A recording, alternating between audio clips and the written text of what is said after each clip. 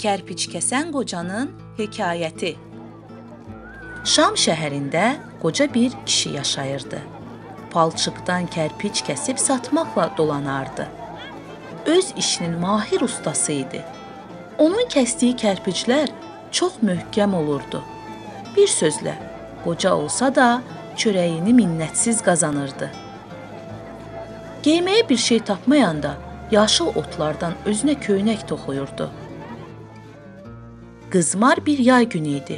Kərpiç kəsən qoca tərini silə-silə palçıq qarışdırırdı. Bu zaman yoldan keçən cavan bir oğlan qocanın necə əziyyət çəkdiyini görüb dedi: "Ey qoca, sən niyə belə ağır zəhmətə qatlaşırsan? Yaşlı adamsan, özünə yazığın gəlsin. Bu qədər əziyyətin qabağında qazandığın bir qarın çörəkdir. O çörəyi kimdən istəsən, səndən əsirgəməz. Bəsdir, canına yazığın gəlsin. Qoca bir anlıq əl saxlayıb diqqətlə cavanı süzdü. Düşündü, düşündü və səsləndi. Deyirsən özümə yazığım gəlsin?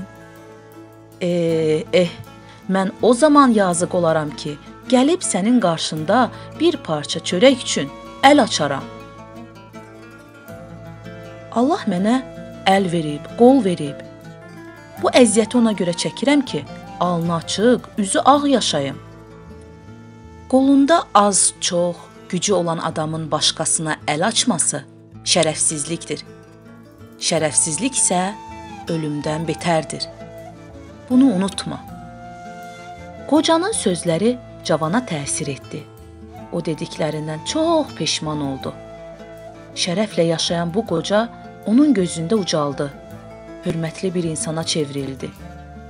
O qoca kərpiç kəsənə ədəblə baş əydi və yoluna davam etdi.